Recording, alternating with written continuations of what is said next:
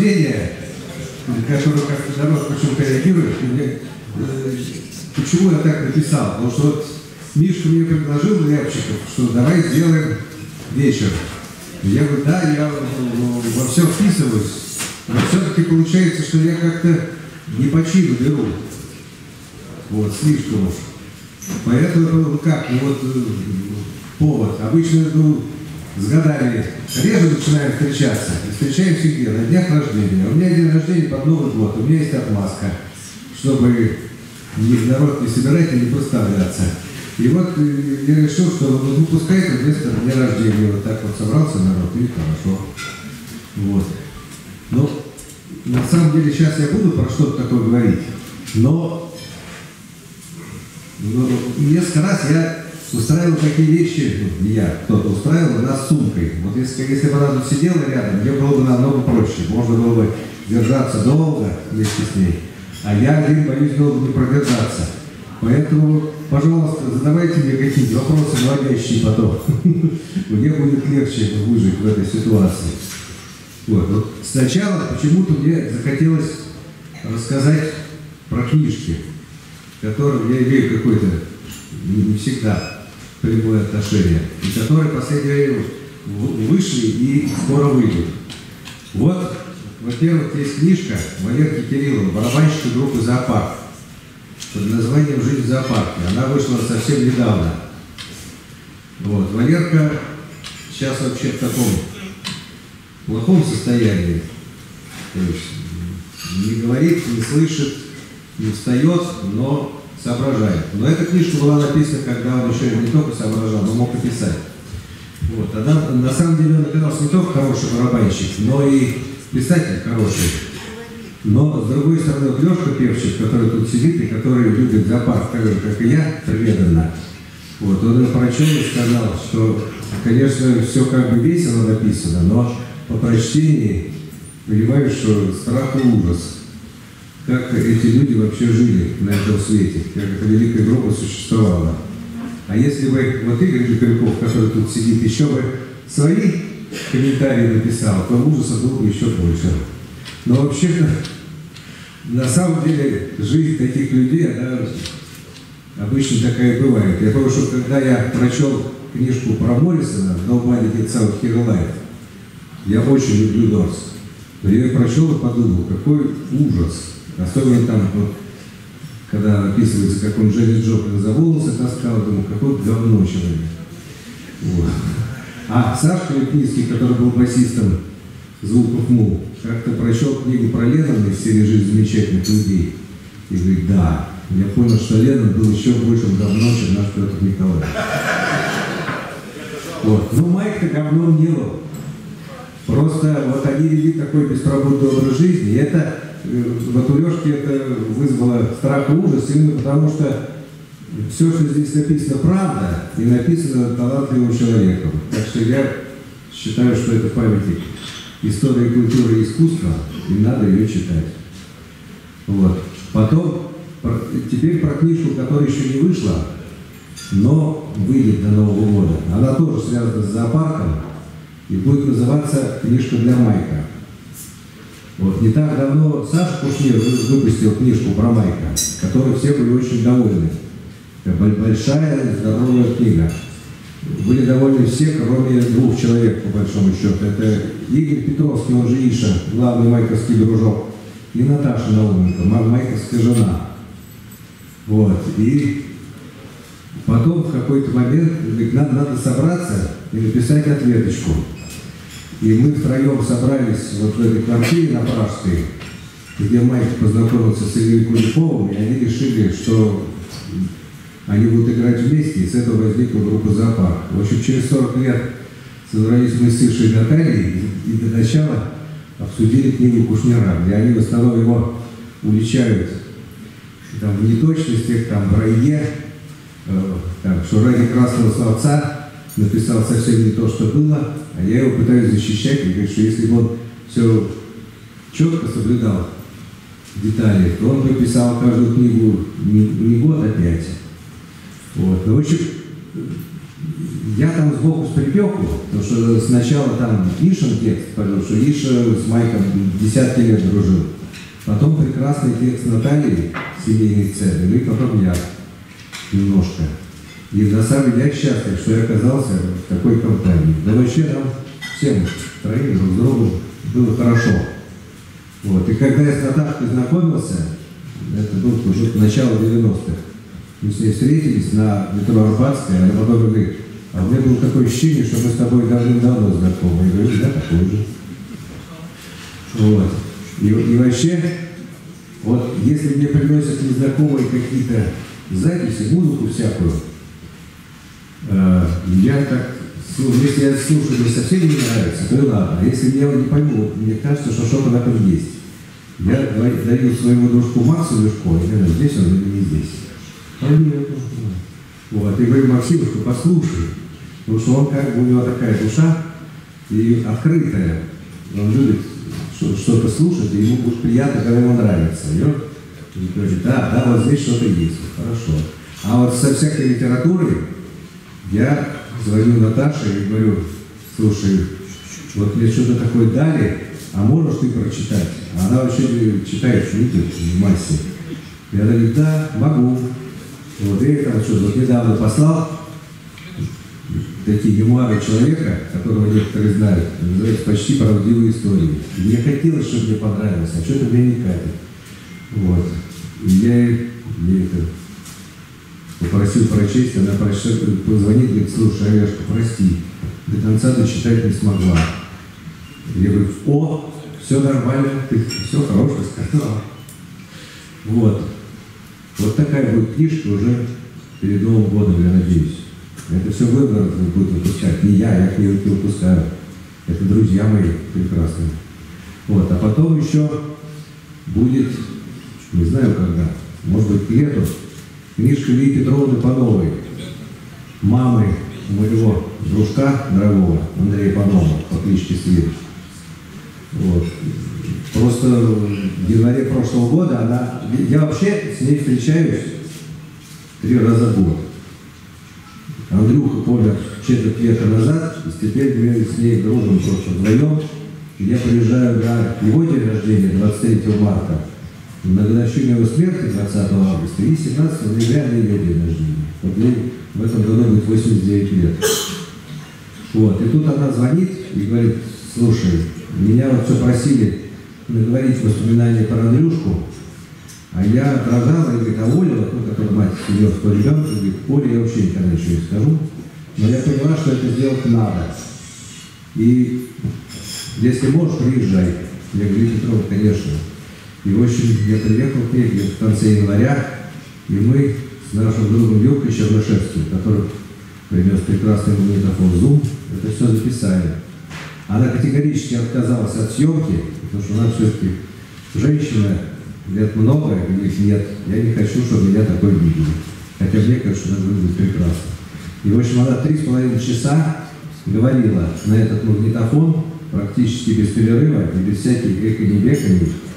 Поэтому там будет хорошая книжка. Причем моя задача была, чтобы она не только про Андрюху рассказала, а и про себя, потому что ну, она в 1934 году родилась, когда началась война, она была в эвакуации. В общем, потом постепенно она стала прямой балериной. И объездила весь мир.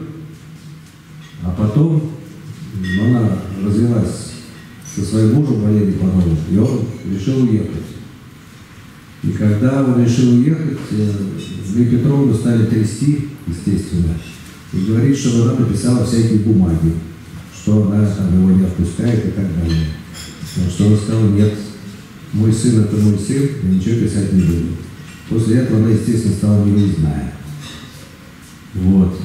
И потом, там как-то шли годы, она уже перестала балериной и стала тренировать фигуристов, точнее не тренировать, а ставить хореографию. И хореографию она ставила Родиной Уланову, Сергею Волкову, то есть реальным олимпийским чемпионом. Вот, вместе со Станиславом Жуковым работала в Москве. И Жук ей предлагал приехать в Москву.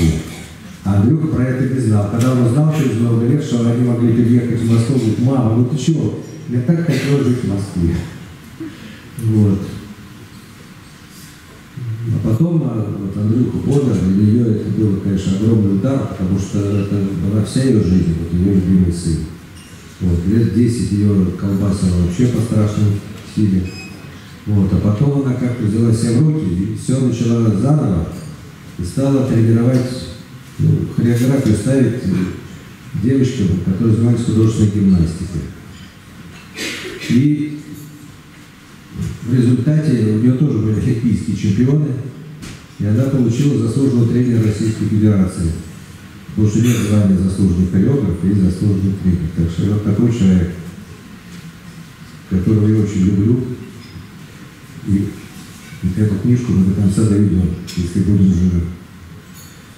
Вот. А еще тут должен был прийти мой дорогой любимый Марк Ильич Пекарский, но он заболел сегодня прямо. А я хотел его книжки прорекламировать, потому что все его знают как великого музыканта, и ну, кто-то знает как профессор консерватории. А он книжек 5 или 6 написал. Вот. Но одну я с собой взял, если кто-то захочет. Вот. А поведу, если вот он будет здесь, а его нет. Я бы сказал, что когда я был студентом-первокурсником, мы ходили в зал Чайковского, и там выступал ансамбль «Мудригал». И на сцене стояли боги. Мартынов, Гринденко, Волконский, Пекарский. А мы сидели на ступеньках этого зала. А теперь, если бы он здесь был, вот, прошло почти 50 лет. Я сижу тут, а Пекарский сидит в зале. И что означает? Что жизнь удалась.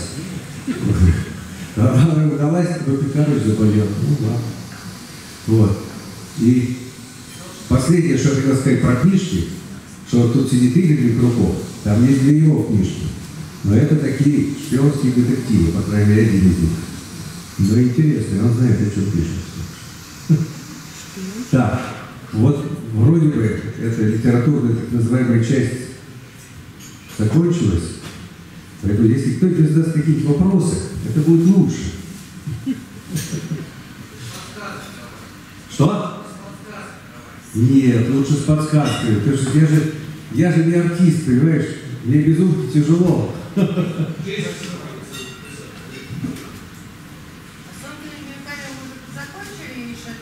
Что, что? Ты знаешь, Сашка Валентинский, который выиграл, выдал, по-моему, 10 тысяч долларов э, сколько-то лет назад. Да, ну да, давно это освоила. Вот. Но сейчас она эти дневники как бы сама печатает в таком самом издате, а потом, когда она это все закончит, Сашка сделает такой фолиант.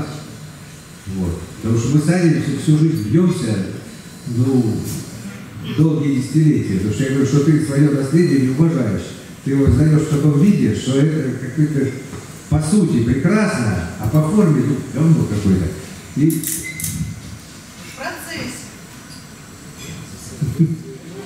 Ну да, когда этот процесс до конца Олег, вопрос, а про свои книги расскажи, пожалуйста. Про шабашку там, ну что ты сказал? Да. Ты, ты же писатель тоже. Писатель. Закончил писательство роман. Писателю пришли. Нет, на самом деле... Автограф взять.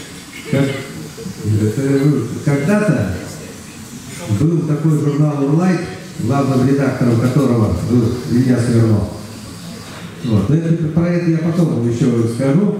В общем, началось с того, что э, все было очень стрёмно, и Илюха меня просил переводить с английского языка на русский какие-то ну, непонятные тексты. Я не понимал, для чего это нужно. Но понял, что я, поскольку мне было это, хотелось этим заниматься, это был такой музыкальный журнал, абсолютно подпольный. Вот. А у Илюхи, оказывается, было прокурорское предупреждение за сам издат после журнала «Зеркало». Поэтому было понятно, что если вот он его еще раз уличат, он сядет просто.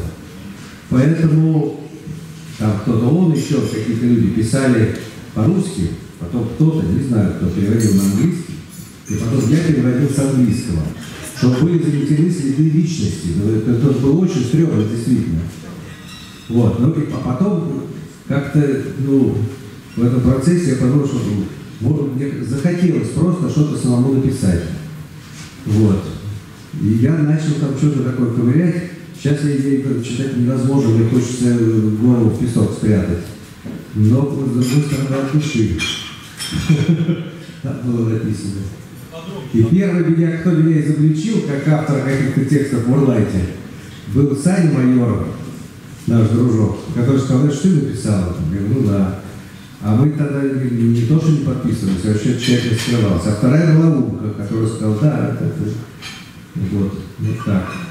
Ну а потом прошло много лет, и я же 8 сезонов на шабашке, на Чукотке шабашил, а перед этим еще где-то. Вот. И Костя Цой, наш бригадир, как-то говорит, ребята, я все ждал, когда появится новый Куваев и расскажет про, про это явление, про шабашничество. Потому что ну, мы же знаем, что это такое, что это вот. И говорит, ну, я понимаю, что я ни хера не писатель, но вот я, говорит, написал. И призываю вас это сделать. И мы с Ванькой Цоем тоже постепенно тоже накропали свои эти тексты, и мы на троих выпустили эту книжку про шабашку. Вот. Я уже остался единственный живой автор, сожалению, этой книжки. Вторая. А потом я, ну, что, нет, не забыл. Прихвостачивал. Оставил потом, но это э, потом у меня была грыжа в конце прошлого века. И, и мне ее зашивали, вот, и я лежал в больнице. А в каком месте? Грыжа костям. Предъявите. Вот. Я почему-то решил написать про... Нет. Про свинью я сначала написал, потому что он помер, и как-то у меня это в голове так э, было. Так, это- тяжко мне дались эти и Андрюхина смерть и его похороны. И я решил, что надо про него написать. И написал. А второй большой текст был написан, когда у меня было воспаление легких. И я тоже положили в больницу. Я не мог бегать. И я написал про Мамона, основную часть. И, и а потом ну, как-то шли годы, и как вот эта книжка, что я видел, она постепенно возникла. Ну, лет 20 на это понадобилось. Вот. А Мамон, кстати, когда она появилась, я говорю, Петь, у меня книжка появилась, там про тебя больше всех. Может, прочитаешь? Он говорит, нет, я тебя и так люблю, а вот прочитаю и буду меньше любить. Это вполне в его духе. А Оля Горохова, которая была его подругой до Оли Мамоновой, говорила, что они как она говорит, Петя, что ты ничего не читаешь? Он говорит, понимаешь, ну, плохую литературу читать противно, а хорошую завидно. Вот. Если я доживу, я допишу книжку «11 тысяч жизней». Вот. Я как-то постепенно это происходит. Но это в основном через тексты в Фейсбуке, что там вот что-то водоворот в голове возник, его вылил туда и успокоился. И так это как-то копится. Хотя вот есть вещи, тут надо написать про несмелого Андрюшина.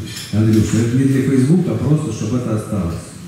А это надо просто собраться, а некогда и не получается. Да.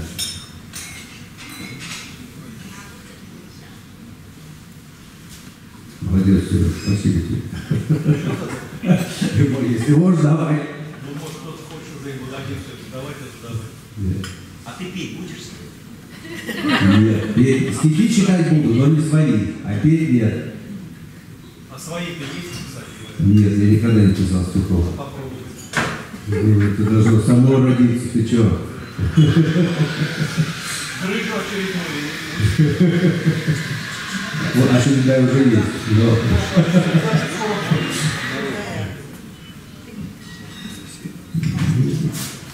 А Первая книжка, которая сейчас на столе, сверху о ней.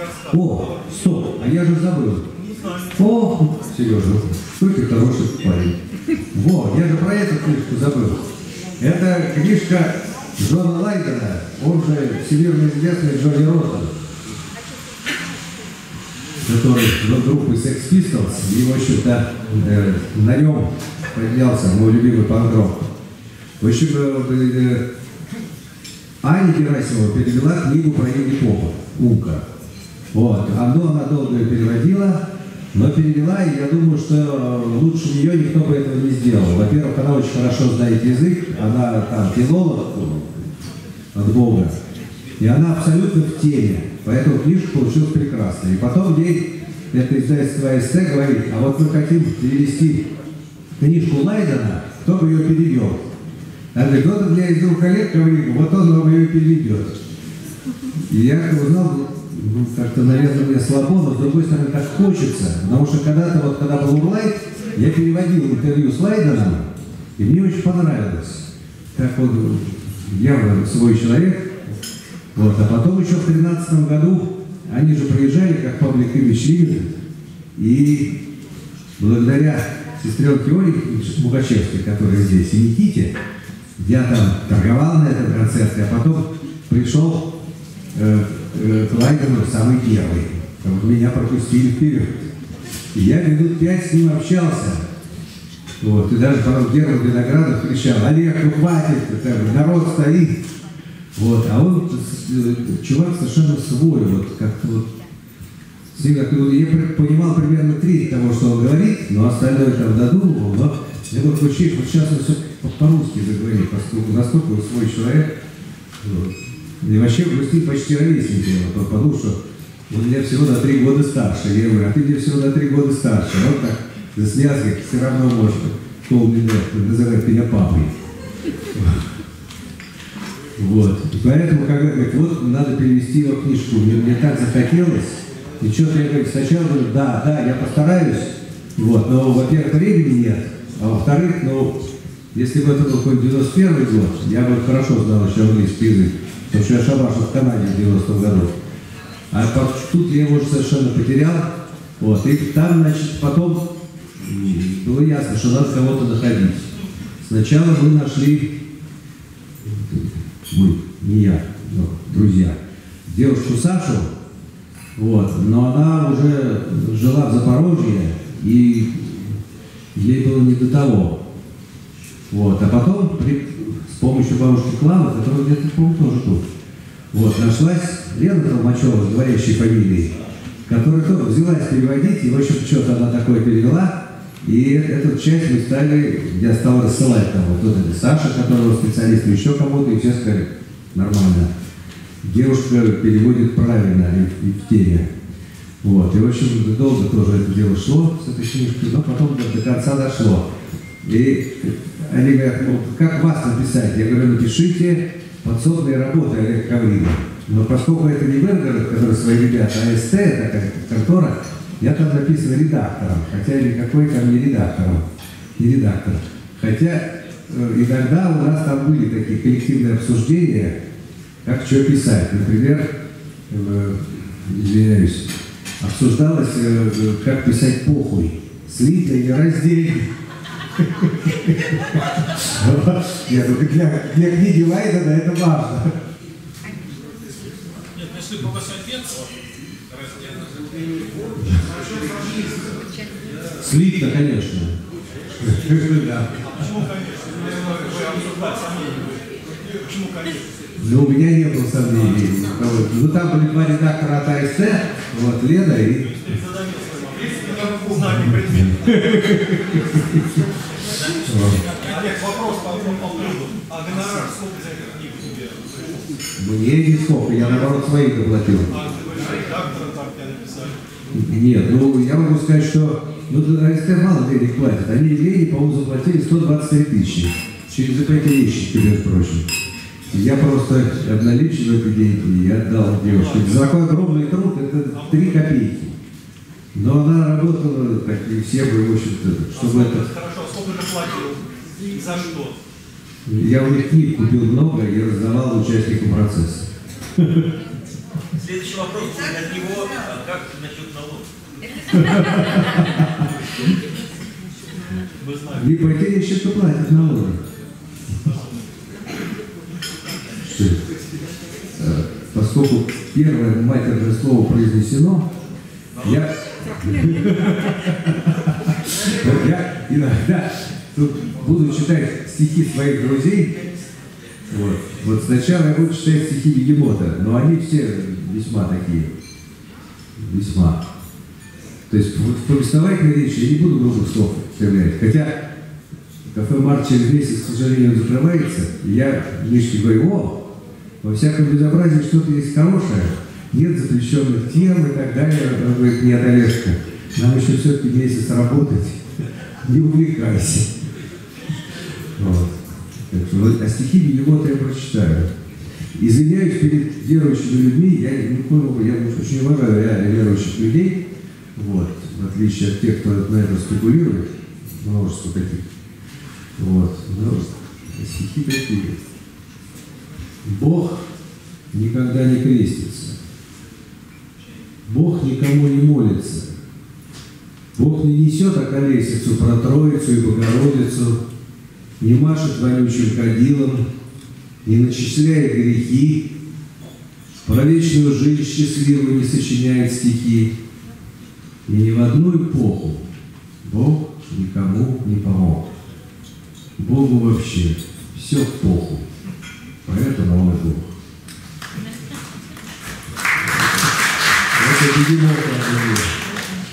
На ту же тему. Я стоял трех дорог, пьяный в жопу, как свинья. Глядь, идет навстречу Бог. Блин, такой же, как и я. Посидели, попиздели, водки выпили глоток, залихватски песню спели. Он хороший парень, Бог. Расстались мы довольны, как море корабли, неся на землю темную луч света и любви.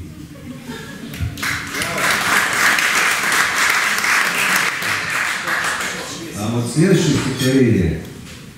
Я раньше на концертах Бегемота выходил периодически и читал его стихи.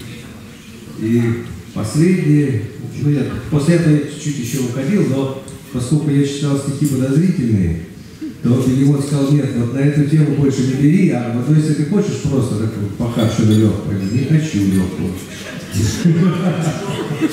И, в общем, вот это, то, что я читать, я прочел со сцены 22 февраля 22 года. Через два дня началась война.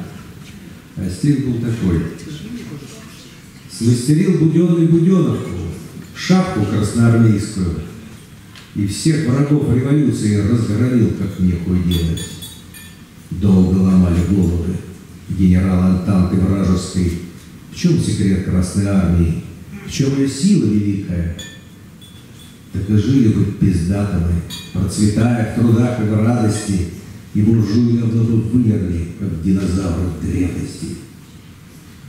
Но нашелся предатель подлый, пионер, потерявший бдительность. Он за пачку жвачки Буденовку иностранцам проклятым выгонял. И упал престиж Красной Армии.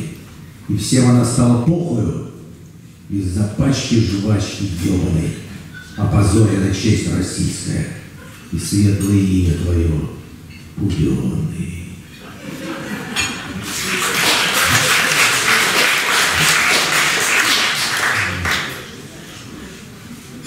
Э, И еще один Гегеловский стих. Он на самом деле поэт не поэт, но он такой настоящий сковород. И у него всегда есть плодотворная дебютная идея. А это главное, как говорил Остап Бета. Главное в шахматах – плодотворная дебютная идея. Я не знаю основ альпинизма, но уверенно лезу по скалам, с ледоровым в руке, весь измазанный салом, я лезу. Меня не страшат лавины и прочие ураганы. Я лезу пока из силы на пик коммунизма сраный. Я лезу. И я хочу убедиться лично в феномене 20 века, что Ульянов сидит Ильич там, превратившийся в снежного человека. Я лезу. Шалаши из козлиной кожи, под самыми облаками, Ленин корчит бинокль рожи, и смеется над нами, над мудаками. Я лезу. Я лезу.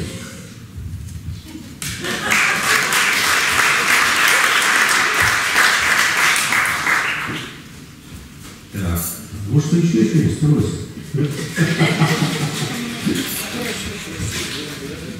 Сергей Иванович, Сергей Иванович, возможно, скоро приедет, потому что его дочь, Наташка, скоро поедет сюда, через Стамбул. Я говорю, так ты езжай с ней.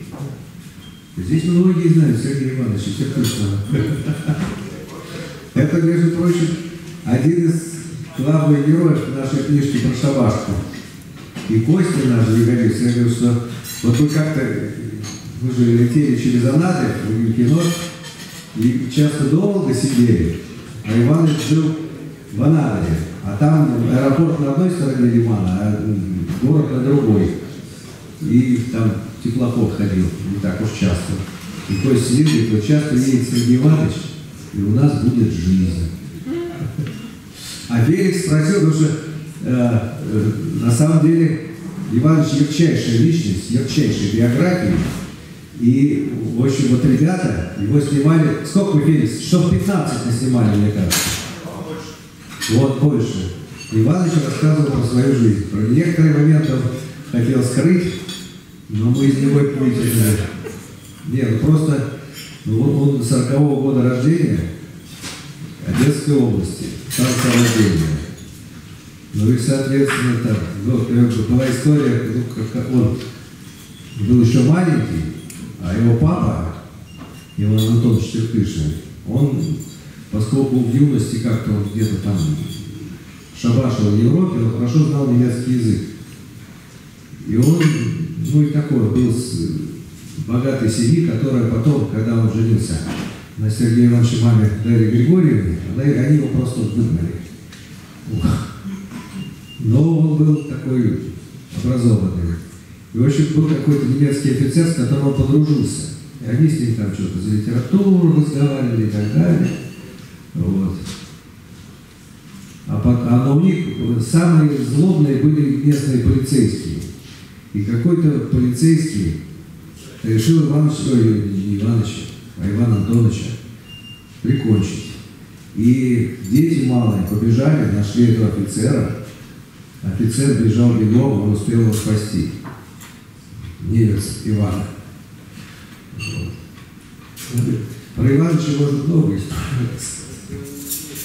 Если, ну, во-первых, мы когда-нибудь это расшифруем, можно будет это сделать даже в виде книги, но это надо видео смотреть, потому что Иванович это ну, природный артист такой. Пока нигде. Вот, вот ребята обработают. Ну, знаешь, 15 часов это. Это много. Но жизнь, он 40 года рождения, ему 83 года. Вот. Два раза сидел человек. Вот. Он, тоже- он про это не любил рассказывать. Я вообще про это узнал уже, по-моему, когда все наши шабашки кончились. Просто он ко мне довольно часто приезжает и у меня живет. И все это рассказывает. Ну, вот, вот, кстати, интересно. Вот первый раз вы, я ну, не знал, что сделал два раза. Он как бы это как-то все объединял, когда раскололся. Первый, первый раз, говорит, я сел за драку, потому что, ну, э, там, мы оказались сильнее, но потом нас посадили. Вот, и он говорит, ну, вообще, говорит, я, говорит, раздельно люблю, это моя родина, но это страшное место. И в какой-то момент я решил, что я больше туда никогда не вернусь. Вот. А второй раз была история славная, что ну, уже один раз человек сидел, вот, и он уже в Тирасполе поступил в техникум, там, и приехал домой. И кто-то из его там друганов детства, Коля Нежности, говорит, Серега, мне надо холодильник помочь вытащить, ты поможешь? Он говорит, ну поможешь. Вот. Они пошли, взяли какой-то холодильник, погрузили его на санки, он говорит, все, спасибо, я поехал, и Иванович ушел. Через некоторое время к нему в Тирасполь приезжают, и его берут. И, значит, начинают э, ему шить дело, что это организованное, этим убрали холодильник. Вот действительно, он был оказался. Вот, и идет дело следак, который у них там где-то на соседней улице жил. И он говорит, дядя Миша, вы что, вы считаете, что я вор? Вы же знаете из меня с детства мою семью. И что, действительно можете подумать? Но тому было пофигу. И ну, ему надо было сделать дело, что вот это и в разделе, и Тирасполе такая группировка. Вот. И, в общем, Ивановичу дали пять лет, и он сказал себе, я себе сказал, что если я эти пять лет сижу, я выйду и его убью.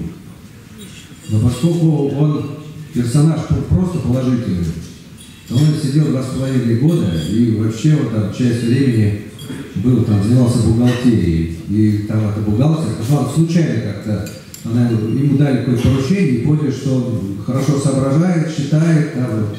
вот. И говорит, мне это бухгалтерша говорит, зайчик мой, за что ж ты в тюрьме сидишь?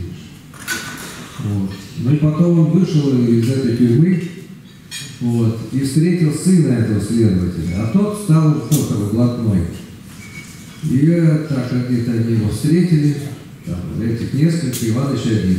Говорит, Серега, ты, говорят, против меня что-то имеешь? Говорит, против тебя я ничего не имею, мне тебя насрать. А вот отца твоего я бы повесил не за шею, а так, налил бы ему в сапоги бензина и поджег. Вот, так что суровая была жизнь по разделу. Вот. Кирилл, спасибо. Могу рассказать мою любимую. У, Ивановича байк там был просто немерено. Но я, моя любимая очень грязная. Извиняюсь, если кому-то испорчу аппетит, но я очень люблю. Он уже был, работал в Магаданской области, и его послали в командировку в Кудыкчан. А это такие шахты, в которых еще Варвара Шаламов когда-то работал. Вот. И ну, он вентиляционник такой, талантливый, и его туда поставили какую-то вентиляцию. Ну, он приходит в общежитие, там комендант говорит, вот у нас тут комната, там трое уже живут. Ох, зря это говорю. Вы по четверкам будете? Я говорю, ну да, какая разница? И говорит, а на улице зима, минус 55. И там окна везде в общежитии закрыты. И мы говорит, подходим к этой комнате, она открывает дверь и так ее выносит. Вот. А зрелище такое, значит, они, во-первых, жарили картошку на сале, опрокинули сковородку, ходили по комнате в носках, это значит растерли.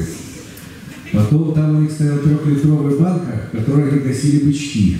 Они ее опрокинули, это тоже, значит, на полу. Матрасы лежат на полу, а один из них, извиняюсь, нассался, и вытекает ручки. Другой наплевался и, и булькает сквозь это дело. А третий стоит, качаясь, у него в руке такой жестяной чайник, смотрит на них и говорит, вот сейчас мы кахляку заварим, и все будет в полном порядке. Это были химики, это была подделка химии, когда э, некоторых, которые не сильные преступления совершили, а так себе их посылали на всякие стройки. Вот это химики в этой комнате жили. Извиняйте.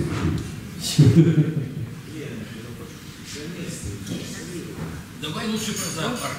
А заселился он в эту комнату? Ну ты что, нет, конечно. Ну да, да. На моих глазах Валеров влепил яйцо вареное в буфетчице в гостинице. Знаешь, как это, попал издали. Он очень редко парень хороший. Да, вот он же про мальчика у него руки хорошие. Это Игорь рассказывает, как Валерка Кириллов вышел помянутый. Где-то там э, взял вареное яйцо и издалека попал в лоб буфетчицы. Тоже хорошее развлечение. Гостиница молодежная. Примерно 80. А, в Москве? Гостиница молодежная, город Москва, Дмитровское шоссе. А это не было сразу. Так. Ну,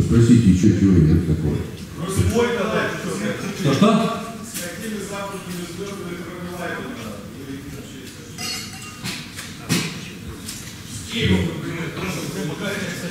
Понимаете, ни с- вот так особо из западных ни с кем, я думаю. А, ну, да можно и так спросить, что записочка, или это что вот это? Записочка.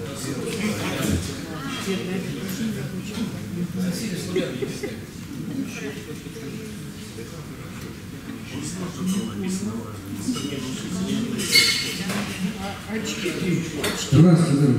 Ответ тоже записан.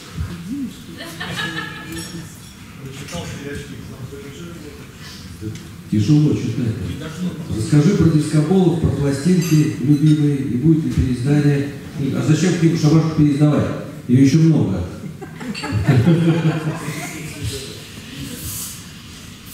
Второй Про, издатель. про дискоболов, ну, я потом хотел рассказать про свои взаимоотношения с советской властью, но, но с дисковал можно, это, это хорошее дело. Что? Давай, давай, давай. Это самое. 15 В общем, э, когда мы еще были в школе учились, начали слушать всякий запад гнилой. Вот. И постепенно это как-то переросло в главную часть жизни моей в том числе. А потом, вот я поступил в институт, и на, и на первом курсе, э, первую половину я- года я ходил в гитарную школу КСП в Беляево. И там, значит, играл на гитаре и пел что-то такое. Через, э, через полгода я понял, что мне это так опротивило, там же люди интеллигентные, но все это такая дрема. И больше всего стал противен я себе сам, поющий песни Вадима Егорова, там ужас какой-то. И я оттуда сбежал. Сбежал я в основном вот дисковолом, потому что дисковол, это, там была абсолютно разношерстная публика. Вот мы там, встречались каждый день на Октябрьской кольцевой тупике, там вот это небо голубое. Вот, и друг другу давали пластинки. Но постепенно, сначала там мало было народу, там просто Костя Лисаков, я забыл, с кем-то встречался, и постепенно народ подтягивался. И потом стало нас человек 10, а потом уже стало больше. Вот.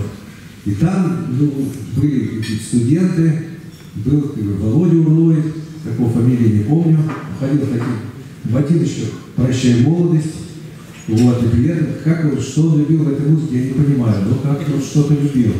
Вот. Был сын академика, Андрюха, будущего академика, Андрюха Гальданский. Вот. Был Костя Лисаков, который потом стал работником КГБ. Я был студентом МХТ. Был Коля Будров по кличке Милиционер.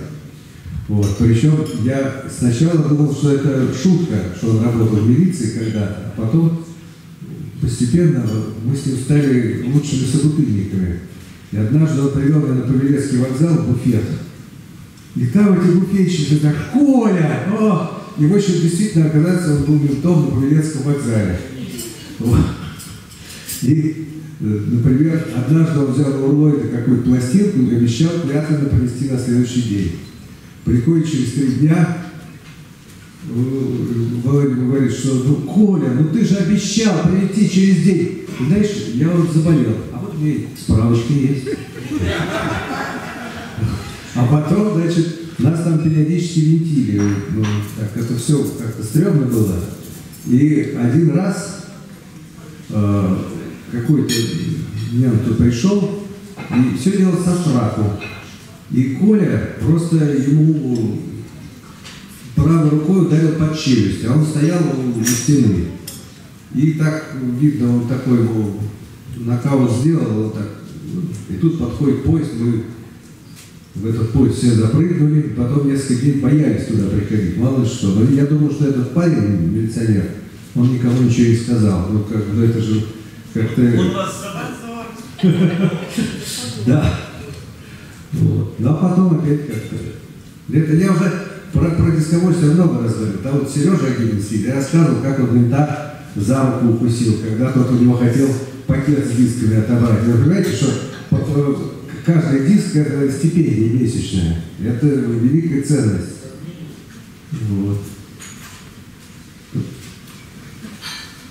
А еще вот, вот мой такой любимый случай, но это позже, когда я уже такие был дискобол условным, я уже работал в НПО-пластик, и Саня Тихов, дружок мой, говорит, поехали в Малин на толкучку. Я вообще на толкучке не ездил. Вот, и тут я что говорю, поехали. У меня было две пластинки, э, Джон Лорд Windows и это самое, Лу Рид Bells. Я говорю, надо мне их на что-нибудь поменять. Вот мне не хотелось. При там, все любви не хотел, чтобы он у меня оставался. Ну и мы с Саней поехали. Ну и там все сначала было тихо, а вот как только я приехал, началась облава. Так, повезло. Ну, что-то народ побежал, я думаю, я не побегу. Я не побежал, ну, меня там взяли, привезли. Вот, значит, у нас там все это отняли. Вот, и, ну идите. Я говорю, а куда я пойду? Вы у меня просто так отняли, давайте пишите бумагу. А там какой-то капитан, значит, сидит, говорит, какую тебе бумагу писать? Я говорю, какую? Вот что у меня, хочешь, пиши сам. Я там написал, наваял эту бумагу, вот, и говорю, давайте поставим печать. Говорит, какую печать? Нет у меня никакой печати. Я говорю, не верю, у вас не может не быть печати. В общем, он, он понял, что я уже не уйду просто так. Но на самом деле, вот, был бы на моем месте тот другой, просто могли бы мне выписать, там, отлупить и выкинуть. Но этого не произошло. Ну, правда не верю, а возможно сейчас-то есть. Вот, и, значит, потом все-таки достает эту печать, говорит, ты куда тебе, на лоб ставить? Я говорю, нет, вот на бумагу. Ну, Он поставил, я ушел. Взял телефон. Потом, значит, звоню, говорит, с работы, с пластика. А он, значит, все списали, кто такие там, что я инженер, кто пластик. Вот, и я звоню по этому телефону, и он подходит. И меня узнает тоже. И говорит, а, это ты инженер? Я говорю, я. Ну, мы тебе уже телегу в подком-то накатали. Я говорю, ну а что мне, я же не член партии. Ну и что, говорит, вот когда дойдет дело, ты, ты, поймешь. Это самое, все тебе равно или не все равно. Я говорю, а пластинки когда можно взять? Ну ты хоть сейчас приезжаешь. И я, значит, тут же отпрашиваюсь и еду туда, в Зеленоград. Вот, прихожу в эту культуру, и он там сидит. Но как будто это совершенно другой человек. Вот он сидит совершенно нормально, говорит, «Ну, привет. Здрасте. Ну, вон там говорит, стоит шкаф, ну, посмотри, там свое найди. А там стоит полно всяких пластинок, я могу взять все, что угодно. Вот, но я не стал свою карму как-то так загаживать. Нашел свои две пластинки, и их забираю. Никакой бумаги это меня не спросил. Вот. И говорит мне, ну, ты понимаешь, что мне вас гонять совершенно не хочется. Я там в футбол поиграл, телевизор посмотрел, но у меня приказ. Я не могу его не выполнить. И, в общем, мы прощались, и руки друг другу пожали, и расстались вполне по-доброму. И я считаю, что... Я думаю, что просто кроме меня туда никто не пришел, потому что страшно было. А зря. Если пришло человек 20, уже бы, наверное, может быть, кто-нибудь о чем-нибудь призадумался. А так все испугались. А, кстати, один раз нас на, на Октябрьской взяли, тоже, тоже был капитан, который произнес фразу, запомнившуюся мне на всю жизнь, что советский человек должен слушать русскую музыку, а не всякую там еврейскую. Вот. Нас- Со мной вместе взяли Олега Андрюшина, которого многие знают. И Олег ему тут же сказал, а что бы на ваши слова ответил Владимир Ленин? И этот капитан прям поперхнулся. Ну, понятно, что ну, если это дальше пойдет, выяснится, то можно, по крайней мере, выбор по партийной линии схлопотать запросто. Поэтому там он ну, довольно быстро отпустил все, иди отсюда. Студенты первые.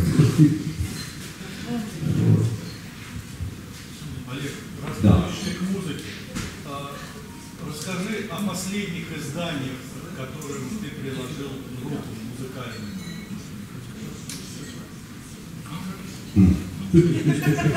Я, я тут же про это, знаешь, вот мы выпускаем, я радуюсь, забываю. Нет, самое последнее, что вышло несколько дней назад, это э, альбом группы The Travы «Туда, сюда, and обратно». Ну там, на такого, это мой дружок Вова Терех. Он такой изобрел себе такой новояз еще очень давно, лет 20 назад, где вот э, русские с латинскими буквами там как-то перемежаются, и пишется все ровно, как произносится. Да, вот. они как должны писать. Причем четко, вот у него все в этом новоязе ошибок нельзя допускать. Вот. Это, кстати, эта группа очень любит Жайка, тебе хорошо известно.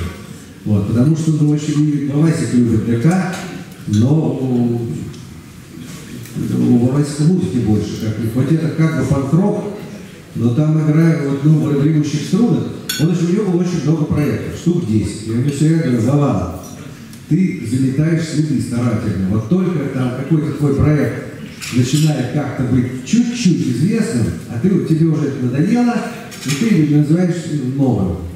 Делаешь новую группу. Вот у него была группа «Хлам», который там играл Сережа Летов, всем известный, Равказ Бадридинов, который потом с Элином играл и так далее. Очень хороший барабанщик.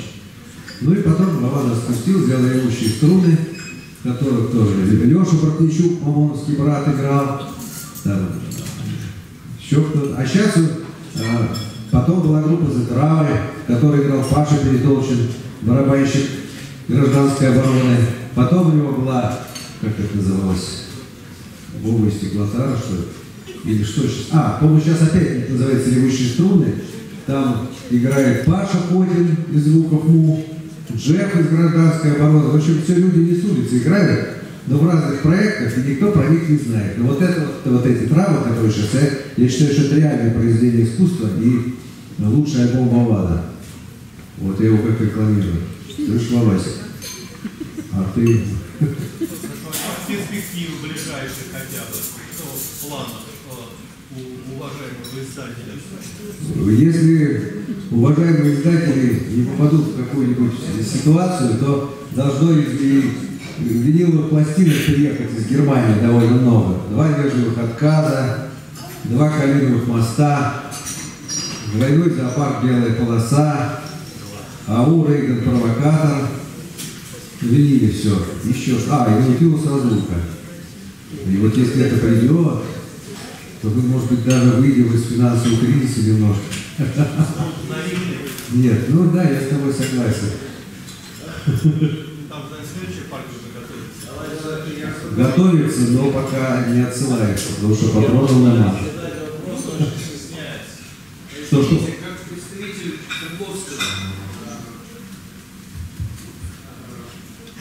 Стоимость Наутилусом история? С возникла, я, э, потому что Женек Копеек у нас, пытливейший персонаж в этой области, в этом мире. Он давно говорил, что давай займемся Наутилусом, потому что вот то, что издавалось, все издавалось только говна, а я нашел кучу оригиналов, надо сделать хорошо, а я ему говорю, что я не люблю Наутилус, надо и так есть что делать. Вот, еще отвлекаться на Наутилус.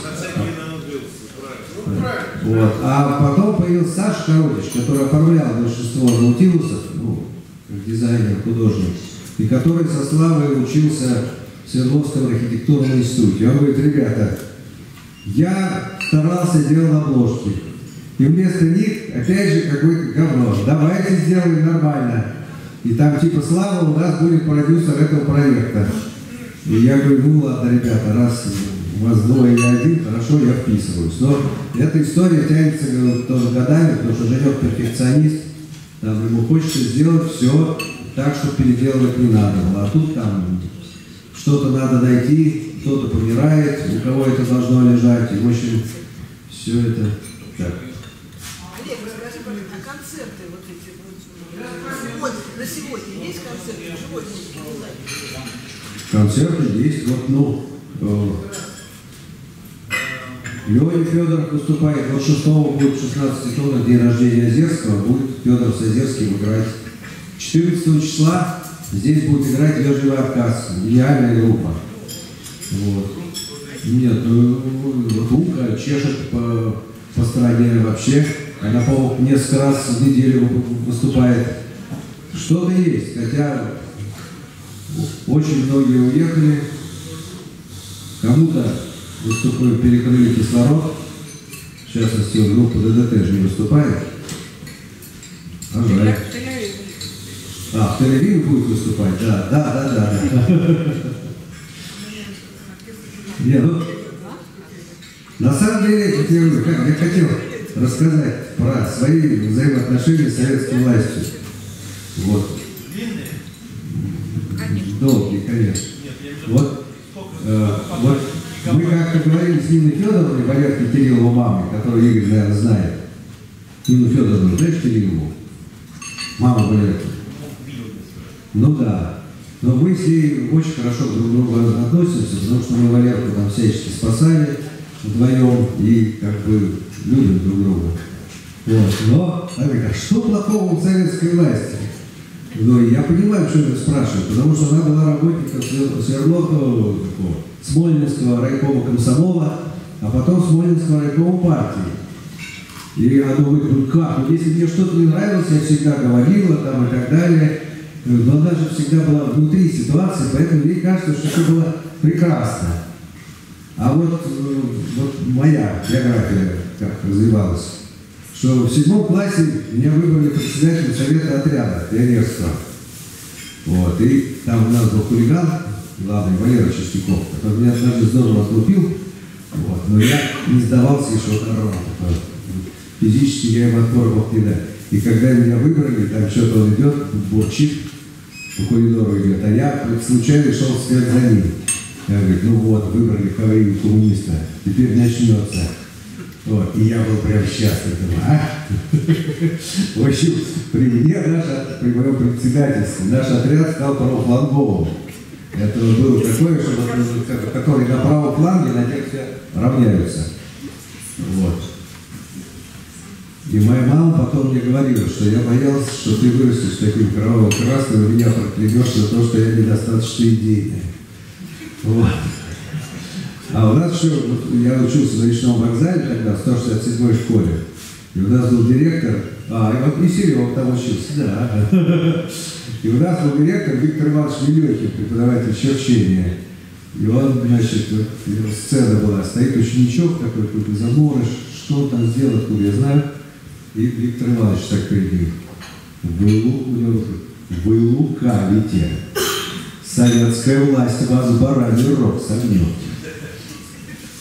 Вот. А потом, когда я пришел в восьмой класс, я уже пришел в математическую школу 91 И там уже были...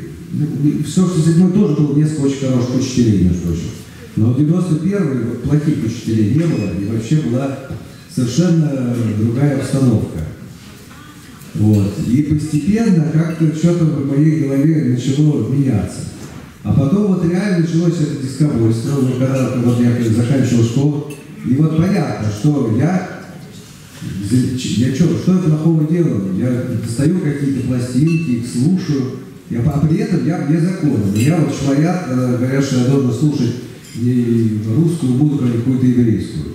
Естественно, это вызывает некое такое ответную реакцию. Вот. Потом там книжки какие-то. Выясняется, что например, даже мастер Маргарита это практически не то чтобы запрещенная, а книжка, которую ну, нельзя печатать. А когда мы начинаем что-то печатать, там сеять, ну, ксерокс вообще была тогда привилегия государства, не- нельзя было им пользоваться. И когда мы им пользуемся, мы становимся уголовниками. А потом пошла, вот, ну, я полюбил эту отечественную музыку. ну, И понял, что когда я слушаю Запад, я... Да, товарищ Васильев внес в этот вклад, правильно. Что когда я слушаю Запад, я чистый потребитель. А когда я вот, я тут принимаю какое-то участие, то я соучастник, я там чему-то помогаю. Вот, и тут выясняется, что вообще как бы, ну, с 84 года вообще стало вот очень тяжело. То есть ну, э, государство за это взялось это душить. И а этим занимаемся. Я понимаю, что Вову Литовку посадили. Он в матросской тишине сидел месяц, освободили его после того, как обнаружили у него в голове опухоль. Вот. Где он сейчас, я не знаю, не думаю, что он жив. Вот. Потом вот Лешу Романова «Воскресенье», который совершенно ну, безобидная группа. Его посадили на год. Его звукооператора посадили тоже. Вот. Мухомор забрали в армию почти целиком. Вот, вот был этот э, концерт группы «Браво» Галтухьева. но абсолютно безобидная эстрадная группа. Вот. После седьмой песни на, на сцену выходит мент, так, забирает у этой девочки такой трогательный вот, микрофон. И это, конечно, производит серьезное впечатление. Вот. Э, вот, вот сидит мать моих старших детей, может, она помнит, как нам туда, причем куча автобусов пригнали, и, значит, всех, кого могли, в эти автобусы загрузили. И главный вопрос был, э, кто вам продал билеты? Ну, незаконный промысел. Вот. Но повезло, что мы были в дальнем конце зала. Вот. Ну, естественно, мы выпивали, может, или закусывали. Нет, Вот. да. Я помню, что потом уже идем, у меня в руках эта эмалированная кружка, вот, и с одной стороны меня Алка держит за руку, а с другой стороны Паша Евгенев. А я иду в невменяемом состоянии, повторяюсь, сколько раз увижу, сто раз убью. Это слова Бубараша. Вот. И потом, ну вот, параллельно с этим, я узнаю то, чего мне в школе не говорили. Чтобы мои деды сидели без вина. Конечно, это, и что вообще куча народу сидела безвинно. Ну вот там, к сожалению, вот дед Иосиф Ефимович умер, когда я еще был такой не особо сознательный, мне не приходило в голову расспрашивать. Вот. Но там как-то бабушка мне потом что-то говорила, что ну, он сидел 19 месяцев в бутырской тюрьме, но он был твердой личностью. И он не подписал ни одной бумаги. Хотя вот, ну вот, ну, я его не мог спросить, а бабушка, по крайней мере, одну пытку я помню, пытка сном. Когда вот человек стоит, ну они там меняются. И когда он, значит, ну все, ну, засыпает, падает, и он начинает бить, так, пиши, блядь, пиши. Вот, он ничего не подписал. Вот, а вот в, в одной камере с ним сидел революционный матрос Павел Дыбенко, муж Александр Калантай. А дед Иосиф там был старостой в этой тюрьме. Вот. Потом я у Шаламова прочел, что староста в Бутырской тюрьме выбирается своими заключенными. Это был самый справедливый человек, который в том числе еду раздавал. Вот. А потом как-то вот мы с моим другом Мишкой Тульским обсуждали это дело, и я говорю, Миша, если что случится, я надеюсь только на гены деда Иосифа. А Мишка грустно мне говорит, знаешь, ведь настоящей пытки не выдержит никто. Если выдержал, значит плохо пытку. Вот. Но, в общем, а потом я параллельно начал ездить на шабашки. Вот сначала меня в 76 году загнали в стройотряд после первого курса. Я всячески сопротивлялся, но мне не удалось отмазаться. Я поехал в стройотряд, слава богу. И там я понял, что мне очень нравится работать на стройке, что это мое, но только не со студентами, потому что это раздолбаи безответственные. И после второго курса меня занесло в Нижневартовск. Там уже была такая серьезная шабашка. Вот. Я там был самый маленький. Вот. Потом еще на, еще на следующий год была шабашка в Верейском районе, в километре от того места, где потом Петька Мамонов себе дом купил. Вот. Она была самая лютая, но это была реально школа жизни. Вот как приходилось самоутверждаться в такой среде, где, в общем-то, дембельской. Там была такая, вот, но это были бывшие стройотрядовцы, там была такая иерархия, в общем, морально там было тяжко. А в 79-м я попал на Чукотку первый раз. Это было вели- величайшее везение. Вот. Я помню, вот, значит, что я ехал последним, потому что, наверное, экзамены в институте сдавал или что-то такое. В общем, все были уже там наши, а я летел один. И, в общем, я вот помню, когда самолет влетает в эту Гайкинутскую бухту, это просто, ну, вот зрелище красивее я никогда не видал. Вот, он летит между скал вот так вот, разворачивается на эту взлетную полосу, садится, я выхожу такой обалдевший. Вот. И, собственно говоря, там следующий интересный объект, который я вижу, это вышка. Вот. И Гайкинот – это начало трассы Гайкинот и Ультин. И Ультин – это шахта, в которых ну, в основном олово добывали. Вот такой, причем хороший олов, и который можно банки для пищи делать, из всякого это можно делать. И это все было построено зэками.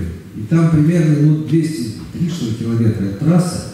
и каждые 10 километров лагерь. Вот первый лагерь, куда всех привозили, он в распадке, там не туда, там камни. И в общем там все хорошо сохранилось, мы там склады сделали, и вот эта вышка стоит. Вот, и так я это смотрю с интересом. Потом что-то нас, ну, мы работали тогда в Нефтеноте, но нас почему-то в какой-то момент повезли в МВР, типа, не знаю, зачем, экскурсию, не экскурсию, ну так, посмотреть. А это, потом я в этой МВР провел много-много месяцев в разные годы. Вот, и тогда мы едем, и говорят, да вот, посмотрите, сюда, и там, ну, среди камней, где-то там, на каком, 40 каком-то что километре трассы, стоят такие таблички. И на них номера какие-то значения. Говорит, а это вот э, э, была зима, и каких-то вот ребят, зэков, послали строить новый лагерь. Вот, но они там что-то делали, вот, и была пурга долго, и у них еда вся кончилась, все, в общем, и они решили, чем просто вот помереть так, лежа, лучше пойти. Ну и они все пошли, и все там замерзли. Но это были, я думаю, самые такие умелые, потому что если послали строить новый лагерь, поэтому даже вот сделали такое кладбище с табличками, потому что так никто не хоронит. Вот. А потом я еще, сейчас это, это самое, у нас была там бригадирша штукатур, Марья Васильевна, и она мне, ее вообще все боялись. Сергей Иванович, ты что, на что отважный человек, это же не, не женщина, это зечка какая-то. Вот. И как она так, как она материлась, я так, наверное, никогда не слышал. Но потом, значит, ее вызвали на партсобрание, сказали, Марья Васильевна, прекратите безобразие. И она дала обещание, что она не будет материться. И, значит, э, я повторю, ты знаешь, я теперь матом не ругаюсь, но сейчас я тебе скажу. Вот. А по мне она воспринимала как сынка. Поэтому она мне вот рассказывала, как она ехала туда по комсомольской путевке, вот, а как раз еще туда вот э, возили зэков. Она с ними была на одном корабле. Я, говорит, еду, у меня там чемоданчик, и я там к нему жмусь, думаю, сейчас ну, крадут чемодан, отберут. И говорит, какой-то пожилой зэк так меня смотрит, так ласково, говорит, не бойся, дочка, здесь у тебя никто ничего не возьмет. Вот. В общем, их привезли туда около 20 тысяч на строительство этой трассы, ну, постепенно за разные годы. А потом, в 1953 году, когда это закончилось, назад вернулось примерно 350 человек. Вот. И в какой-то момент я оказался в поселке Озерный, 13 километров трассы, а там был второй лагерь. И там, в общем, ну, все, а, а, зэки жили в землянках бараках жила охрана, как я понимаю. Вот. И но одна землянка там уцелела. Кто-то, значит, догадался э, построить ее, ну, не, не, не там, в тундре, а вот прям приезжать к скале. Там, конечно, копать было тяжелее, но вот она дожила вот до моего приезда. Ну, то есть сверху там ничего не было. Но там были нары, были остатки печки. Вот из 200-литровых бочек они там печки делали. Вот. И я сел на эти нары.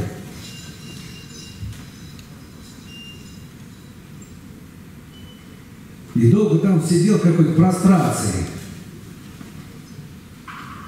И, наверное, что-то в меня вошло. И вот у меня с тех пор ощущение, что пока я живой, я представитель этих людей на этом свете. Вот тех, которые там приняли реально мученическую смерть. Они умирали от чего? От голода и холода.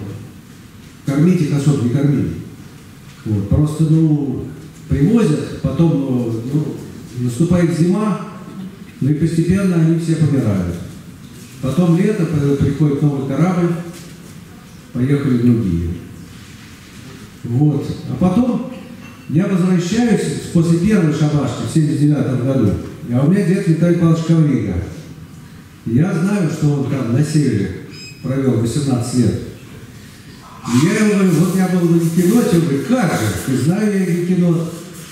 Оказалось, что он, когда уже был на, личном поселении, а не в лагере, его послали туда, э, ну, метки ставить. Кто, кто-то туда приезжал зимой, и ну, просто расставить метки, что там что-то такое строить. Но зимой какие метки? Это же надо пробить до земли э, снег и лед. Это просто невозможно. Кто туда послал, тот, не знаю, зачем он это сделал. Ну и дед приехал проверять.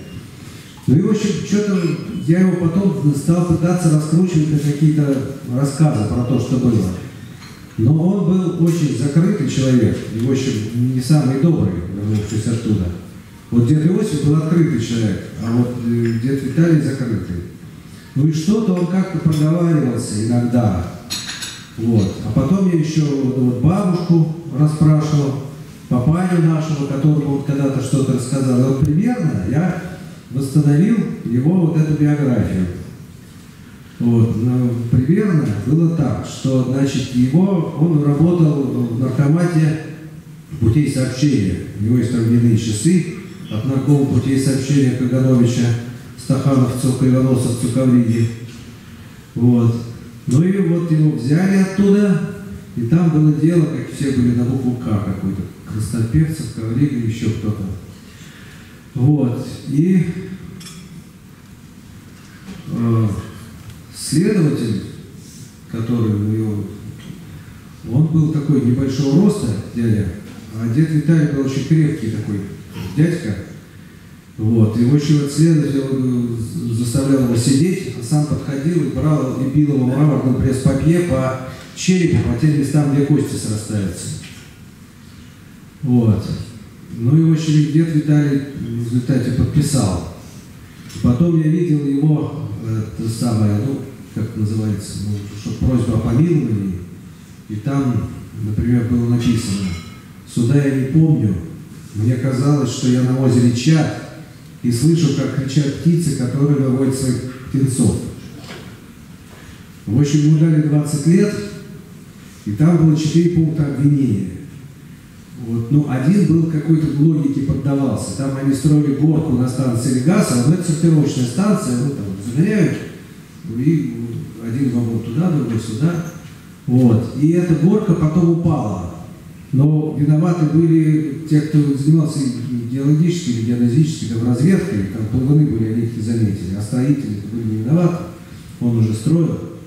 Вот. Еще был какой-то проект, второй пункт обвинения назывался вредительский проект электрификации стрелок. А остальные два там просто бред написан полный. Вот у меня где-то эти бумаги лежат. Вот.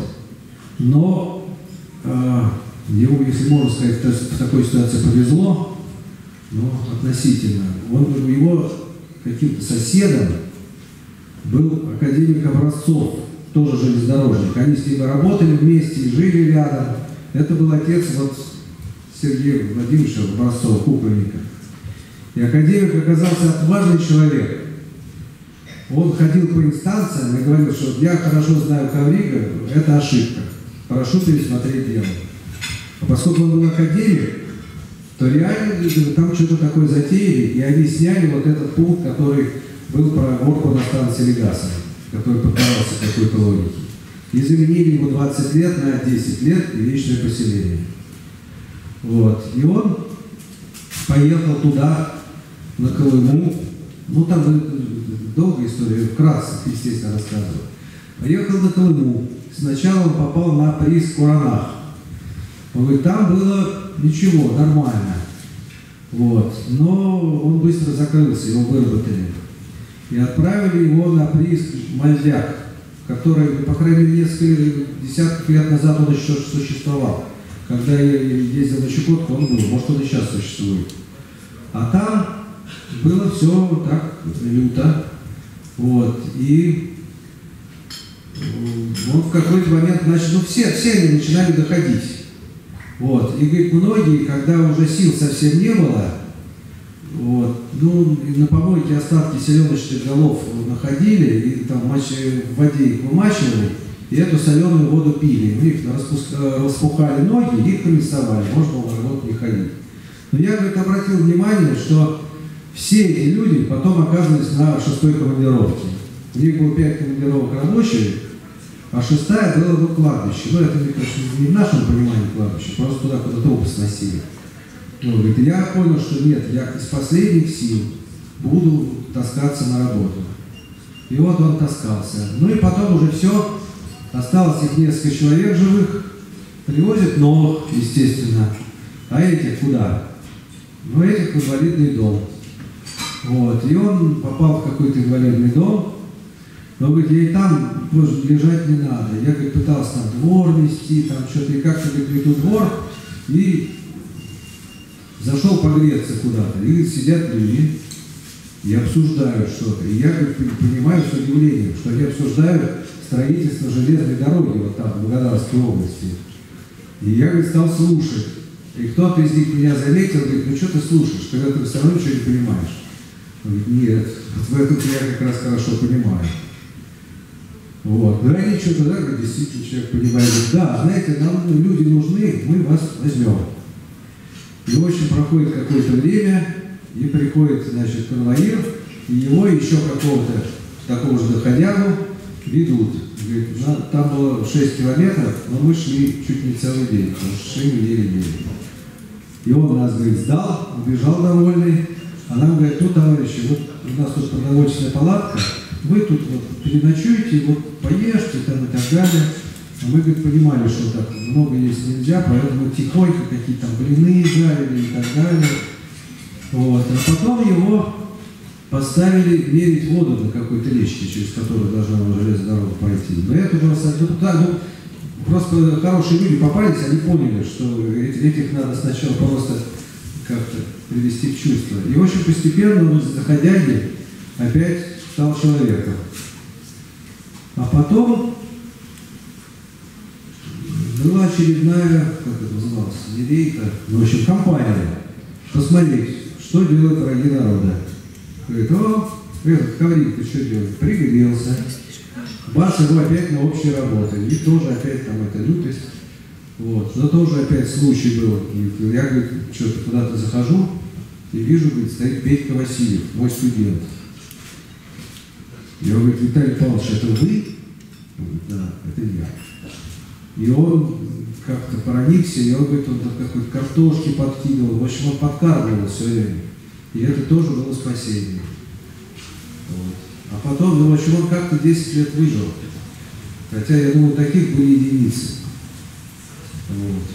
И сейчас я... Я просто, я вот думаю, что вот, по крайней мере, я... э, Сколько было жертв этого дела? А было ли это? Были там миллионы? Не знаю. Но вот за, за эти 20 тысяч, которые загублены на трассе Ютим, я ручаюсь. А сколько было этих трасс в нашей стране, сколько было там? Беломор канал и прочее. Ну, можно примерно прикинуть, даже не знаю. Сережа, что ты хотел?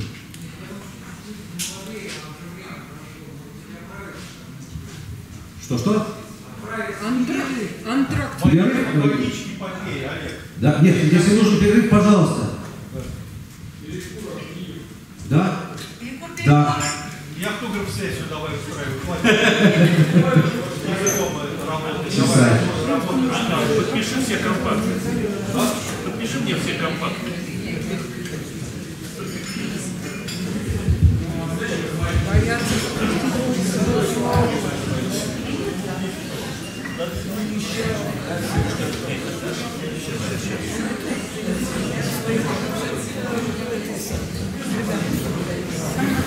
Загадочно в нашем деле. Совершенно не повторяет своей идеи. Алло. Мы здесь.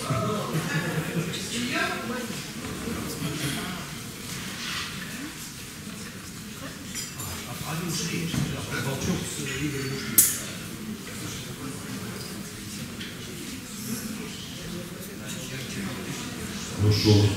Давай, давай. Ладно.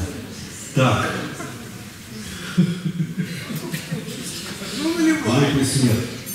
Вот Борищей меня просила рассказать про хвоста, как я с ним познакомился. Но это написано в книжке и про хвоста, и, и этом, что я видел, и, и про хвоста, где все. Но, э, ну и что? С хвостом я познакомился по-простому. А, ну, на самом деле была предыстория, что э, когда-то, году в 81 наверное, мой дружок Серега Есин э, дал мне катушку и говорит, тут записан некий Алексей Хвостенко, но ничего на этой катушке не было написано, но ты будь осторожен, там одна песня есть очень стрёмная. Он имел в виду олимпийское проклятие, конечно. Вот. А не И- А на шины это и на катушке не было. Вот, и э, мы стали слушать в компании вот, с Васильевым Сергеем Львовичем. Олегушка говорил, что не смело, больше всего, по-моему, не смело понравилось. И эта вот запись стала культовой. Ну, И много десятилетий спустя мы узнали, что это альбом «Прощение со степью». А так Хвостенко и Хвостенко, вот с катушки. И как вот идет гулянка, ну, по-моему, чаще всего ее слушали, как ты думаешь? И ты не помнишь. Вот, а потом это самое, устраивали всякие квартирники, и, значит, Шурка Несмелов, у которого ча- чаще всего, по-моему, квартирники устраивали, по крайней мере, он один из чемпионов. И в 88 год уже можно было устраивать концерты в белую, и наши квартирники были особо не нужны. Я говорю, Шурка, все, хватит, мы не будем больше делать. Он говорит, правильно, говорит, надоели эти бардаки, только, говорит, вот если Хвостенко вернется или Александр Аркадьевич Галич воскреснет. Вот проходят какие-то годы, вы Хвостенко сначала рисовался в Ленинграде, по-моему, в 92 году. Дальше воскрес. И ну, в 92-м мы его не видели, а в 95-м он приехал в Москву, и как-то я уж не помню как, я пошел туда, где он жил, в Алисы. А это, причем они жили в моем родном доме, Ленинградский проспект 24. Я жил в девятой квартире когда-то, когда родился. А они в 54-й, что ли, вот Алиса потом квартиру купила. Я говорю, второй вопрос, который я вот слышал от хвоста, это точнее даже второе предложение. Я говорю, Олег, какой, какие напитки вы предпочитаете в это время суток? Мы вот с Толиком Герасимовым пьем кремлевскую водку. Я говорю, «Ну, С удовольствием, конечно. Вот так мы с Хвостом познакомились. Вот. Почему-то мне это самое, вот, перед тем, что я там еще хочу, мне хочется сказать, что вот я, вот, когда, вот мой друг Мишка, про которого сегодня упоминал, он там афганский ветеран и так далее. И вообще он вот с детства, там, ну, у него была слепая мать, он говорит, я говорит, дрался каждый день, потому что мне кто-то говорит, а у тебя мать слепая, и я сразу врыла. И мне тоже врыла. Вот, и э, когда вот ну, уже он вырос, там его друг детства Эдик говорит, ну ты, говорит, у нас всегда был бесстрашный, безбашенный. Он говорит, нет, я не был бесстрашным никогда, я просто страх преодолеваю. Вот. А Эдик про него рассказал, что э, вот Эдик влюбился. А это, значит, Тула, два окраины. Они живут, по-моему, Серебровка это называется, а девочка жила в Липовке. И это Эдик говорит, я всех упрашивал пойти со мной, потому что ну, одному идти совсем опасно. И все отказались, говорит, только ты, Миша, согласился. Вот. Ну и они, значит, провожают эту девчонку и ну, проводили. Выходят, а там, значит, человек 15 стоят. Вот. Ну и Мишка говорит, я говорит, просто отбираю перекладину от забора, но я видел, что она легко отбирается. И делаю вот такое круговое движение. Я говорю, а ты задел кого-нибудь? Он говорит, я не помню, я только помню, что они все разбежались. Вот это такой человек. Вот. И потом он, он, он говорит, я в Афганистан сам говорит, полез. Я молодой был, будак, и сам заявление написал. И уже 30 с лишним лет прошло, а я все во сне по скалам бегаю. А когда там, его однополчанина взяли сейчас в ряды воюющей армии, Мишка сказал, если придут за мной, я лучше пойду в тюрьму, я больше людей убивать не пойду. Вот. Это чему- значит, что ну, к тому, что есть бесстрашные люди или нет. Вот, вот я знаю двух. Первый это наш чукотский прораб Игорь Петрович Сагузаев. Вот, но я с ним до, сих пор общаюсь по телефону, иногда, редко, конечно. Вот, а когда, значит, мы с ним познакомились, это было не в 79 году, а по-моему, по 81 Он меня так удивил, что вот в этом человеке я вот чувства страха нет. И это очень странно. Вот, например, там ну, наступает весна, ну, Чукотская весна, это уже на самом деле лето. Ну, льды там уходят из этой Гекинотской бухты, Петрович говорит, ну все, лед ушел, я сажусь в эту свою казанку, куда-то там еду, там пыры-пыры, и тут меняется ветер, и лед опять гонит туда. Я, значит, еду, и все, а там льдины. А для этой его казанки, казанка его для льдин, это как яичная скорлупа. И он что делает? Он подплывает к льдине тихонечко, выходит на льдину, тащит по ней лодку, потом спускает ее на воду, садится сам. И так там три с лишним часа. Я бы давно уже со страха помер, но Петрович как-то, да, говорит, ну что, ну, да. Вот. Или для... он уже был прорабом, а он человек жесткий, справедливый, но так он не спускает. И как-то я закрыл каким-то ребятам, что-то не очень понравилось, и там зашли в какой-то дом, люди там полы стелили, и они, говорит, двое с топором, говорят, ну что, поговорим, Петрович? А там лежат такие брусья, которые берет брусья, и они все, они в поту улетают с этим своим топором. Говорит, Петрович, ты что, мы пошутили? Он говорит, ну, в следующий раз будете думать, когда шутить соберетесь. Вот. А потом, поскольку он талантливый человек, но без высшего образования, его назначили исполняющим обязанности сельстройкомбината. Вот. Но исполняющий обязанности, потому что он не может быть начальником, нет высшего образования. Вот. А в Киноте, вот, когда я приехал первый раз, там не, не было ни одного милиционера, ни, ни, ничего такого. Вот. А потом уже, ну, ближе к середине 80-х, уже была футбольная команда «Динамо» из милиционеров. Ну и, соответственно, и КГБ тоже появилась. И, значит, а Петрович уже вот исполняющий обязанности начальника. И к нему приходит КГБшник в кабинет и начинает ему что-то втирать. Кришна свой говорит, ты кто такой? Я труженик, а ты трудник. Иди отсюда. Тот не понял. Начинает еще что-то, ты меня не понял? И ты сказал, иди отсюда. И вот такой человек. А потом, как бы уже началась перестройка, на Чекорике все начало рушиться. Но, кстати, оно разрушилось. А потом, когда пришел Абрамович, я про это узнал не так давно, на самом деле все очень сильно восстановилось, потому что вот мне фотографии присылали, все люди, которые там бывали на Чукотке, говорят, что как бы сначала разрушилось, а потом восстановилось. Вот. Но в общем, Петрович понял, что надо оттуда сматывать, и он э, организовал в Калужской области в Медыне строительный кооператив, в который постепенно он сводит всех лучших чукотских строителей. И через сколько-то лет, вот я не помню, то ли это был какой-то его день рождения, то ли он просто нас позвал, но у нас была ну, бригада Цоя, наша, шабашная, которую там все уважали. Про нас даже в газете «Горняк Заполярье» писали. В лучшем смысле. Вот. И Петрович нас туда позвал. И я, мы приезжаем, он за нами автобус прислал, а там коммунизм. То есть вот все эти люди, там, которых я знаю по Чукотке, у них особняки, и такой поселок. И, в общем, вот Петрович все это устроил. Для лучших людей Чукотки он устроил там детский коммунизм. Потом его мысль пошла дальше, и он поехал на Мадагаскар. При этом нет, он поехал бурить алма, э, изумруды, да.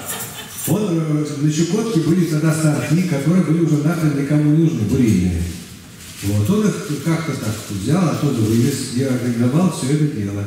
И потом, значит, ну, вот САПа тогда, по-моему, еще не было, но как-то мы с ним созвались, он говорит, ребята, приезжайте, дорога за ваш счет, все остальное на мне, все давайте. И мы вот с Костей обсуждали, говорит, можно ехать там, через Найроби, а можно через Париж. Я говорю, о, давай через Найроби. Потому что через Париж, может, когда-нибудь попадем, А в Найроби точно никогда. А Костя мне говорит, это ты, Олег, в Париж, может, когда-нибудь попадешь. А я уж точно никогда не попаду. Но он 42 года рождения, а я 58 Вот.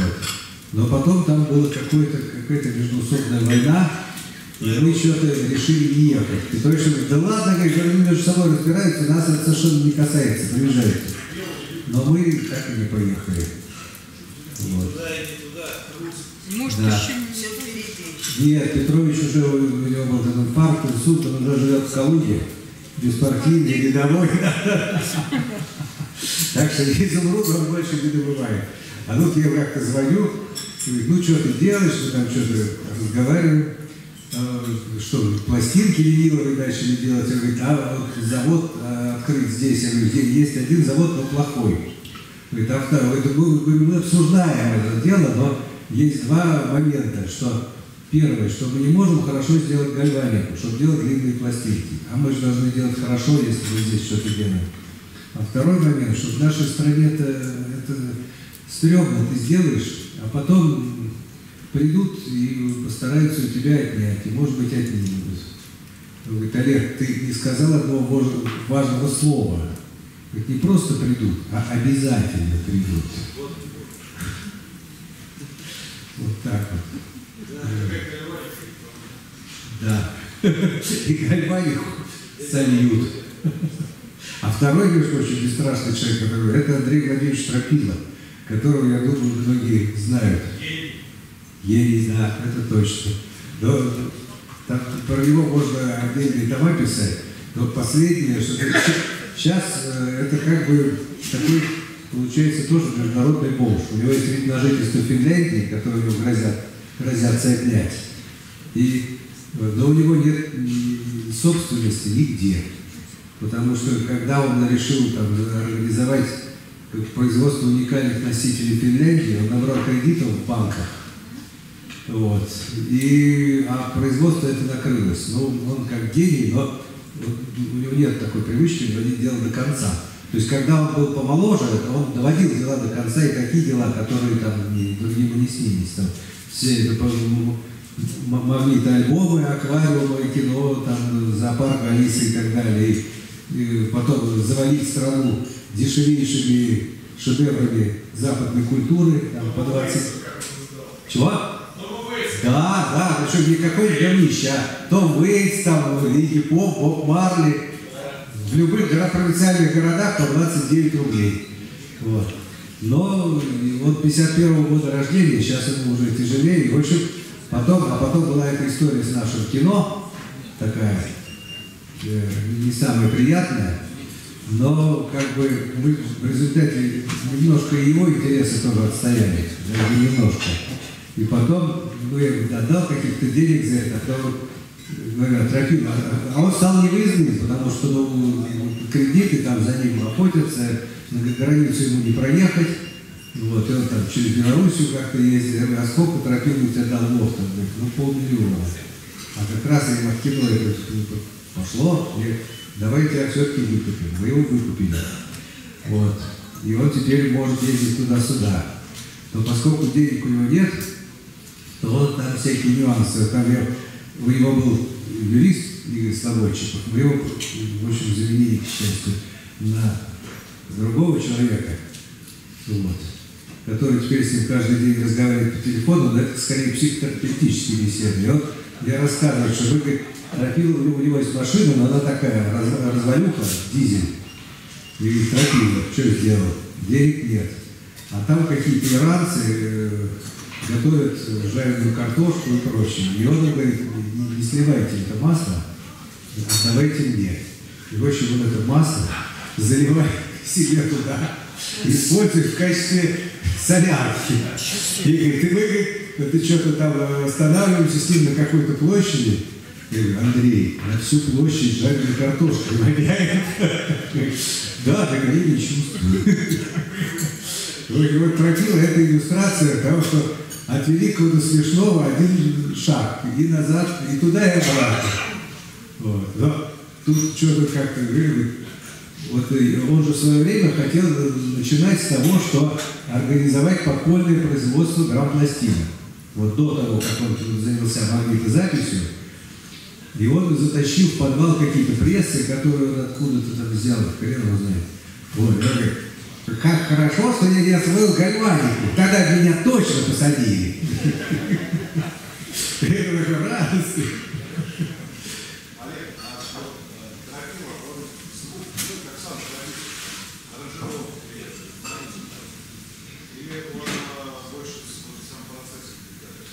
Нет, он, он сводил, он, он, э, это самый звукорежиссер очень хороший. И вот Женек, Женек все наши очень ценит, у Тропила, говорит, какая-то вот такая старая школа, причем не то школа, это он как бы один, глыба. Вот, и, например, а, и у него есть какое-то чутье непонятное. Вот он там, Женьку говорит, дай, Женя, я говорит, нашел программу, там можно там это расчленить, голос выделить, потом э, вставить опять. Женя я думаю, ну, херня. Я говорит, э, этих программ, говорит, уже тучу опробовал, все они работают плохо. Вот. Но, говорит, Утропил мне сказал, вот, вот эту программу изучи. Женек, значит, скачивает демо-версию, берет, значит, запись Бушлачева, где голос завален абсолютно, он много раз пытался поднять. И, в общем, делать какие-то операции, и это работает. Ну, мы потом покупаем версию за деньги, и все там делаем, ну, уже что сделать. Говорит, откуда он это знал? Он в интернете не сидит. Ну, гений, просто он как он... А, кстати, как-то мы пришли, вот, ну, тогда была студия Мизантроп, ну, как его московский филиал, но от него уже оторвавшийся.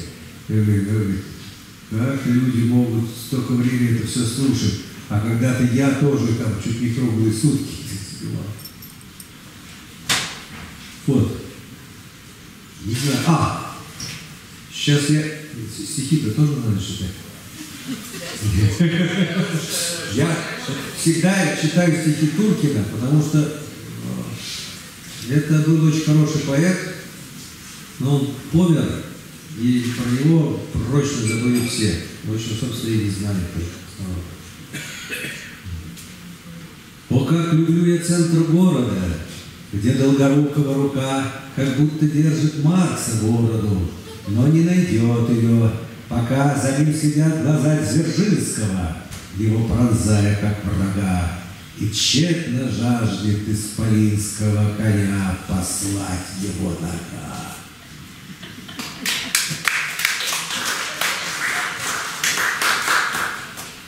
Купил я Ленина карманного, и как читал его, читал, из парня злобного и странного простым и добрым парнем стал, из параноика презренного я тихим стал, что мышь твоя.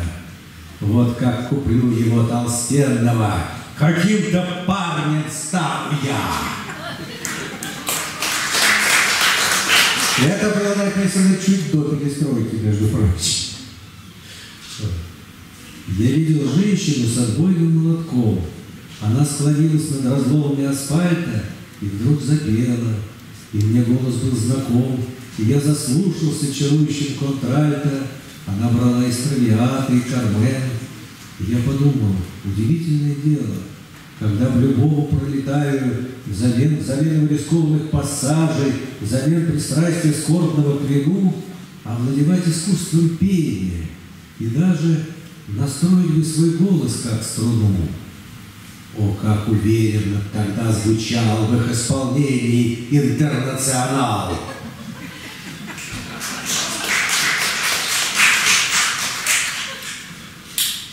Так, вот.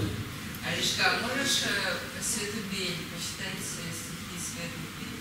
Ты знаешь, я наизусть их не помню. Я очень люблю Свету Бей. Я, кстати, считаю, что вот, ну, вот когда она еще сюда приезжала, это было года три назад, и я был на ее концертах, вот сольных, потом она стала выступать с Гарри Чикис, мне это стало меньше нравиться. Вот. Но это автор-исполнитель уровня Пети Мамонова и Саши Башлачева. Вот, вот такой мощи.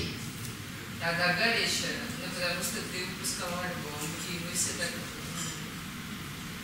были немного причастны. Да, причастны. Я просто думаю, сейчас. Мне хочется продать телегу по поводу, по поводу происходящего. Хотя Мишка мне сказал, что надо.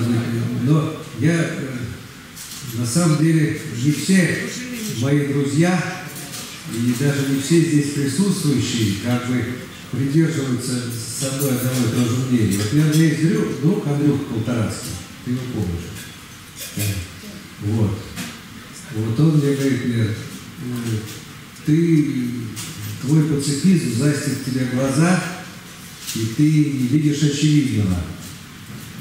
Может быть. Ну, а может быть, он не видит очевидного. Но, э, с другой стороны, я учился в математической школе, и нас там учили, что в математике слово «очевидно» недопустимо. Вот. И я считаю, что оно и в жизни э, не очень допустимо, это очень лукавое слово. Вот. И, может быть, мне кажется, или я думаю, а очевидно неправильно говорю. В общем, вот моя главная мысль, что как бы вот есть множество людей, которых я так люблю по жизни и никогда не забуду того, что нас связано, а они придерживаются не того же мнения, что и я. Но